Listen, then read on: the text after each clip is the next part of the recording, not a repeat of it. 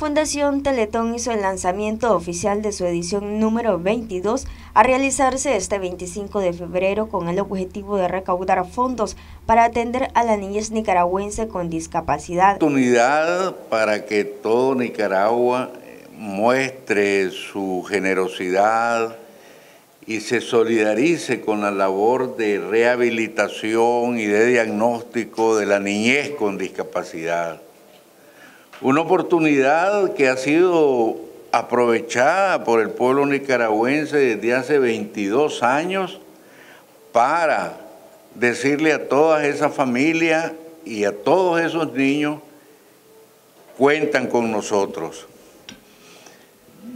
Este año hemos tenido el lema de compromiso persistente, porque efectivamente, al igual que los nicaragüenses, la organización ha sufrido todos los embates de las situaciones adversas, de la pandemia.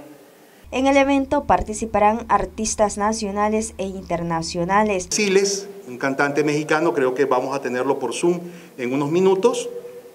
Gabriel Coronel desde Venezuela, Douglas Vázquez desde Venezuela, eh, la banda Doble Sentido también desde Venezuela, eh, Ricky Lawrence desde República Dominicana, pero vamos a tener al chofer del taxi, que ahora viene con las pizzas, Osmani García, cantante cubano. Vamos a tener a nuestra Paulina Rubio, nuestra Paulina Rubio, la chica dorada, ¿verdad? Obviamente, ¿quién no recuerda a José Luis Rodríguez, el Puma, ¿verdad? Nuestro artista eh, inspiración, porque realmente el tema que trae es una inspiración de vida de nuestro Puma. Eh, y eh, Lucero, nuestra cantante mexicana, que además es de alguna manera un símbolo y una representación de Teletón México y los teletones del continente. En la edición del año pasado se logró recaudar alrededor de 9.059.000 córdobas. Sin embargo, para que los centros regionales puedan operar con plena capacidad se requiere de 15 millones de córdobas. Noticias 12 Darlene Telles.